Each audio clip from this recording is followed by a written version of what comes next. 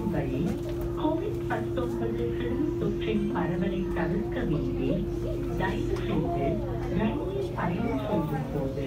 பிறருடன் அல்லது கைபேசியில்